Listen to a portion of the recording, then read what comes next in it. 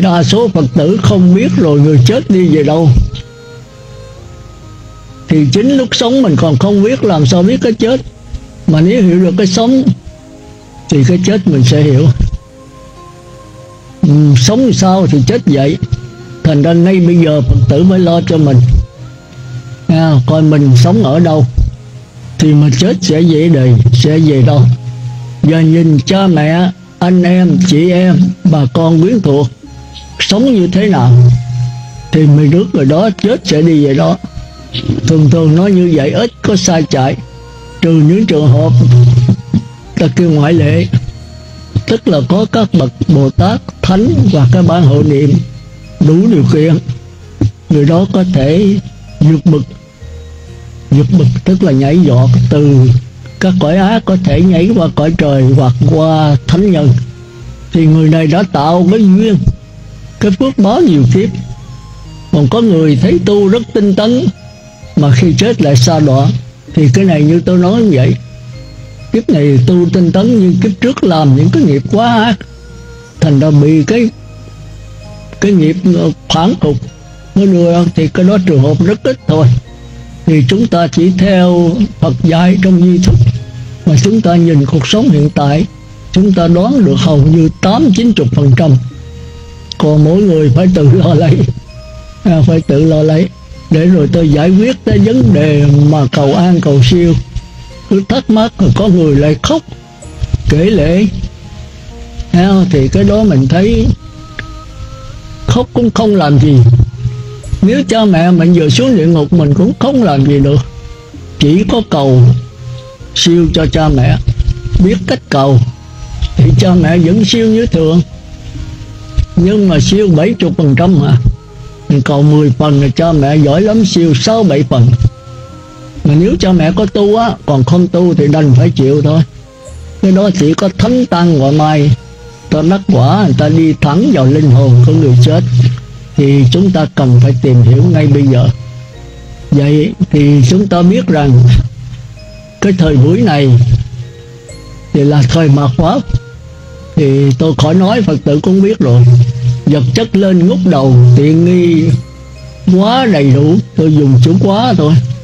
Tức là bây giờ chúng ta hưởng thụ quá nhiều. Hồi xưa mà muốn kiếm một cái ngọn đèn không phải dễ. Bếp dầu không à. Bây giờ đèn đấy ông rực rỡ một nhà có khi xài mấy chục ngọn. À, chúng ta có radio có tivi có truyền hình có điện thoại di động điện thoại bàn ôi đủ thứ hết hưởng thụ đủ thứ. Do đó mà chúng ta không có trở về với mình.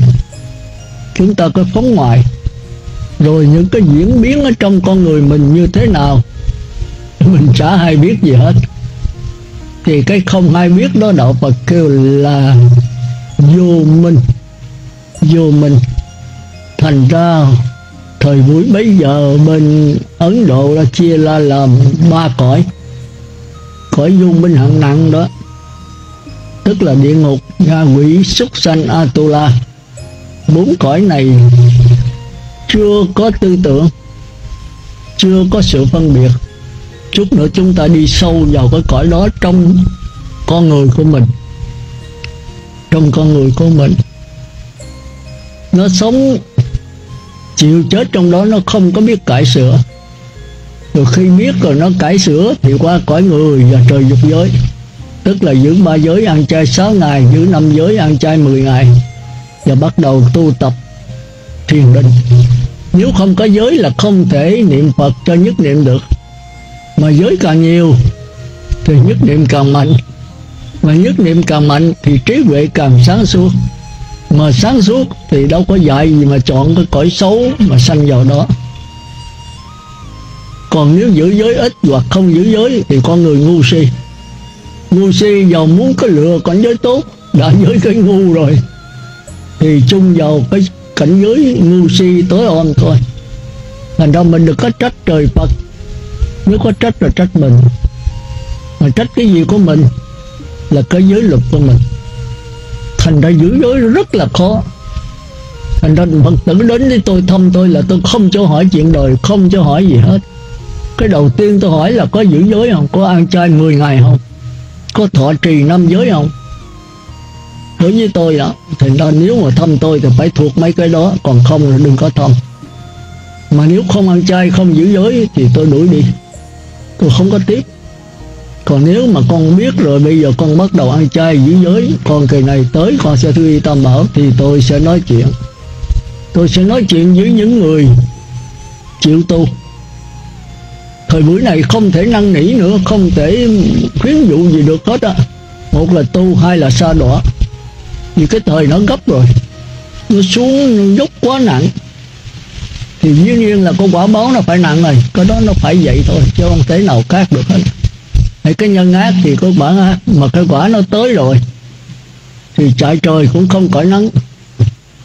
Thì bây giờ không có năng nỉ, không có gì, một là chúng ta tu, hai là chúng ta không tu. Hồi xưa tôi còn dễ. Thọ năm giới có thể ăn 4 ngày, rồi tiếng 6 rồi 8 rồi 10 bây giờ không có. 10 ngày không ăn được thì thôi. Thì thôi đừng thọ nữa. Nó không còn chần chờ như hồi xưa nữa.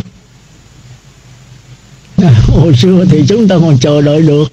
Thì năm nay đó thì đài ơi, thế giới nó loan tin lên là sẽ có tận thế, nghĩa là có một trận bão, trận lục một trận nổi lên sấm sét. Thì hiện tượng báo giờ quý vị thấy rồi đó. Nào là mưa, nào là bão táp, nào là đủ thứ chuyện hết. Sóng thần thì chúng ta thấy là ghê rợn. Thì nói 21 tháng 12 đó, thì nhất định không phải là như vậy mà có thể tới trước mà có thể đúng mà có thể sau mà có thể qua. Không ai quyết định được hết. Cái quyết định đó là ở đâu? Chúng ta nói ở ông trời ông trời nào quyết định? Ở Phật Phật nào quyết định mấy cái vụ đó? Chúng ta quên rằng chính chúng ta quyết định. Chúng ta là ai? Là quả địa cầu này 6 tỷ thì 6 tỷ người quyết định cái đó. Thành ra chúng ta có nhìn thế giới bây giờ mà nếu không tu thì nó phải đến mà nếu làm ác nữa thì nó đến trước. Còn nếu mà làm thiện, thì có thể chậm cải sửa lại. Còn 6 người 6 tỷ người mà thật sự cải thiện, tôi bảo đảm là không có chuyện gì xảy ra hết. Nghe không? thì chúng ta thấy năm 2000 đúng rồi là tận thế. Trong sấm giảng, trong nhất là thiên chúa thì nói là tận thế thôi. Nhưng hai ngàn qua không có, thì chúng ta tưởng là không có. Đừng có nghĩ như vậy là do mỗi người thọ giới rồi lo ăn chay, tu, rồi chuyển nghiệp. Rồi cái đạo Phật คือ chuyển nghiệp. Thì nhiều người nói chuyển là 2005 mà 2005 qua cũng không có. Rồi chuyển lại 2010 cũng không có, giờ tới 2012 thì quyết định cái đó là ở cái 6 tỷ người này. Mà chúng ta là một trong 6 tỷ. Thì chúng ta làm sao mà giúp đỡ cái cộng đồng? Cái cộng nghiệp này chuyển được mà nếu mà 6 tỷ người mà có mới một vài triệu người mà tu thì nó phải đến thôi và có thể đến trước nữa. Còn 6 tỷ mà 3 tỷ người thì có thể chần chờ kéo dài một chút. Nha, còn 6 tỷ người mà hơn 4 5 tỷ mà biết tu thì có thể nó qua. Còn 6 tỷ người mà cả 6 tỷ người tu hết thì bảo đảm không có gì hết mưa thuận gió quà mà làm sao có cái đó sư cái đó là cái tưởng tượng. Thì tôi không nói được. Thì theo cái nghiệp của chúng sanh? Nếu mà ông có Phật ra đời thì nó có được thôi.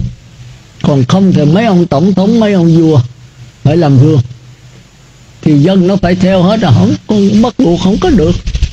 Nếu mà ở trên mà mình hư, thì ở dưới hư hết.